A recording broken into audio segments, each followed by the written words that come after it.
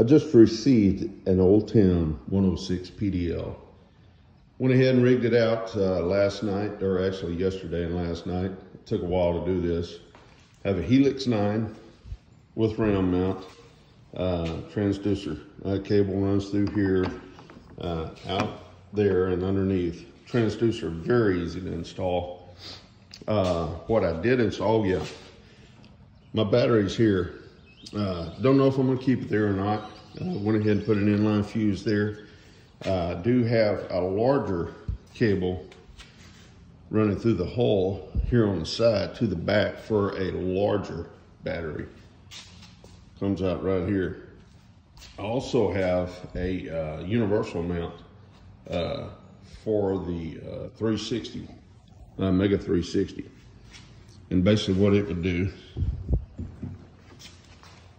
just a couple of minutes here. You'd loosen this up.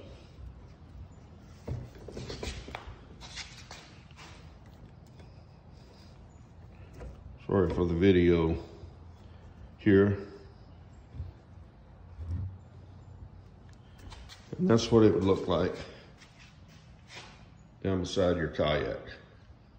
It sticks up there, um, but I don't mind that.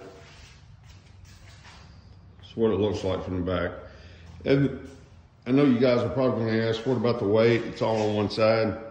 I don't know how that's gonna affect the kayak. But the reason I put everything on one side, I'm right-handed. I cast right-handed. I didn't want anything over here.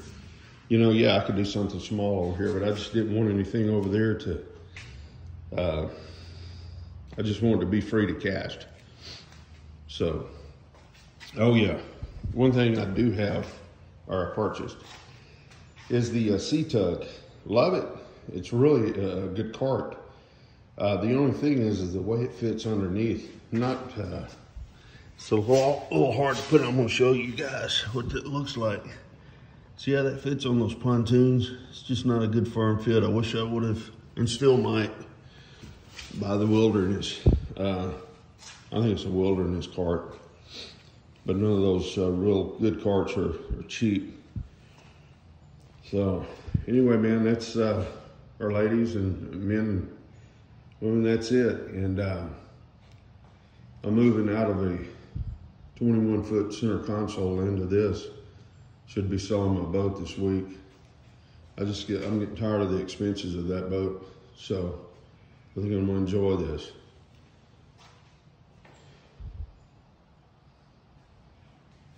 By the way, it took uh, whew, maybe a month to get this kayak. So there, if you order one, it's gonna take a while. Well, man, I'm excited.